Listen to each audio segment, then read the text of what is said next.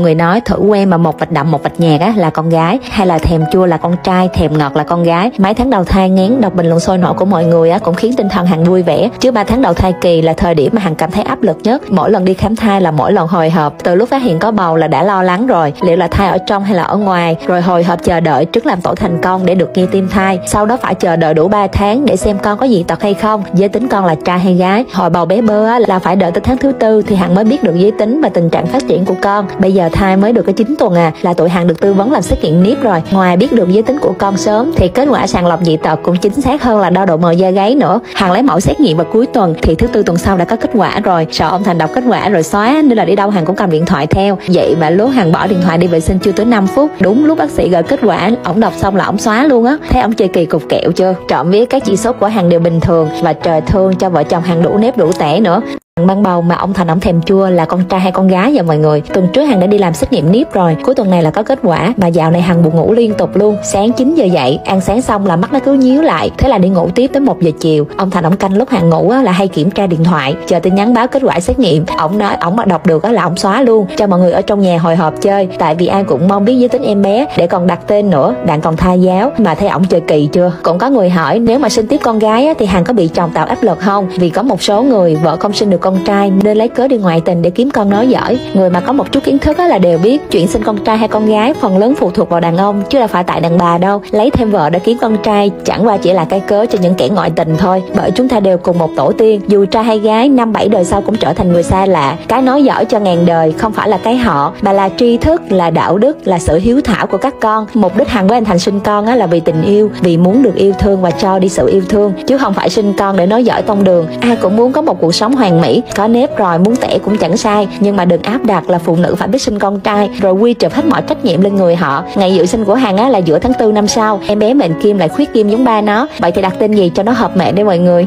Bầu đang ngủ trưa mà xét đánh đùng đùng. Nhỏ bơ nó kêu thất thanh, mẹ ơi, nước vào nhà rồi nè, con sợ quá mẹ ơi. Hàng tính nói, nhỏ này khùng, mưa đâu mà vào tới tận nhà vậy trời. Cái chợt nhớ là hàng có cái bụi hoa giấy trước ban công, có khi nào là lá rơi ngạt cống không trời. Nghĩ cái gì là ra cái đó luôn á. Su cà na là đúng lúc ông thẳng đi đám cưới. Hàng sợ nước tràn vào ngập ướt mấy cái ổ điện, không có kịp đợi nấu dầm mưa luôn. Nhỏ bơ ở trong nhà biết bảo vệ tài sản ghê, ôm đồ chơi chạy trước à bỏ mấy quyển kinh của hàng ướt hết trơn. Bơ phụ mẹ được không? Mẹ đưa cho con một miếng miếng vải bơ phụ mẹ được không?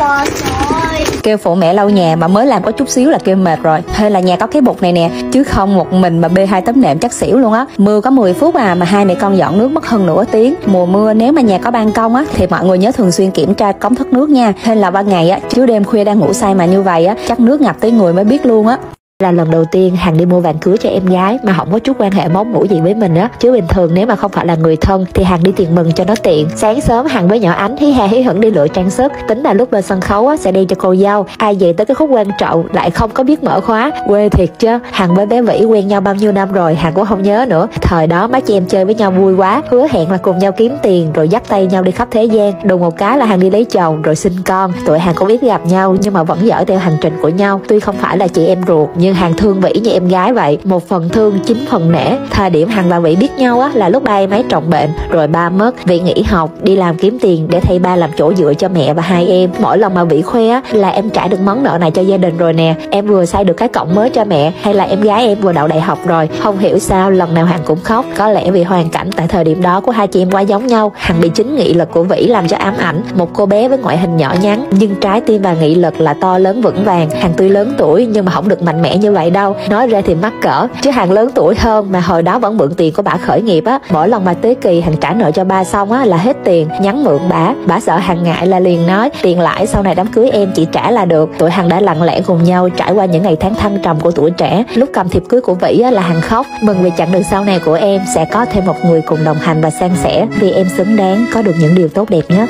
Đội hàng quyết định mở thêm chi nhánh Yến Chân Tư thứ hai vào đầu năm nay vì khách ở bệnh viện nhiều mà ship từ quận 7 qua là xa quá, khách cũng ngại. Đầu năm hai vợ chồng đi khảo sát mặt bằng suốt mà mãi cũng không tìm được mặt bằng nào ưng ý, tính là bỏ cuộc, hai đứa chuyển qua tính chuyện sinh con luôn. Tới lúc phát hiện có bầu á thì hàng tìm được chiếc mặt bằng này nè. Thiệt ra ban đầu tụi hàng tính không có chọn chỗ này đâu vì tiền mặt bằng hơi cao so với ngân sách dự tính. Nhưng mà không hiểu sao, hôm đó lại hẹn chú chủ nhà đi xem thử. Bước vào là hàng thấy thích nên là chốt luôn. Chú chủ nhà cũng kén khách thuê lắm nên là nó mới nằm đây đợi hàng á để cải tạo lại thì thì tụi hàng phải làm mới mọi thứ, tốn khá nhiều thời gian và chi phí để biến một nơi như thế này nè thành thế này thế này và thế này. Chỉnh sửa đủ thứ, cuối cùng thì cửa hàng cũng đã hoàn công kịp tiến độ. Tụi hàng cũng đã mở bán trước một tuần, trước khi khai trương chính thức vào ngày 12 tháng 10 này. Vì gần bệnh viện chợ rẫy nè, bệnh viện phụ sản hùng vương, bệnh viện đại học y dược và các bệnh viện lớn khác. Nên dù hàng chưa có thông báo khai trương, mà mọi người cũng tới ủng hộ cháo và yến nóng rất là nhiều. Thiệt ra là hàng cũng không có nhiều kinh nghiệm trong lĩnh vực nhà hàng cà phê đâu. Chỉ vì muốn mà người ở xa khi mà tới thành phố khám bệnh sẽ có được một chén yến tươi nóng để tẩm bổ, mà hàng làm riết cái giờ cái tiệm nó y chang như tiệm ăn luôn á. Hy vọng là mọi người sẽ hài lòng và tiếp tục ủng hộ hàng trong thời gian sắp tới nha.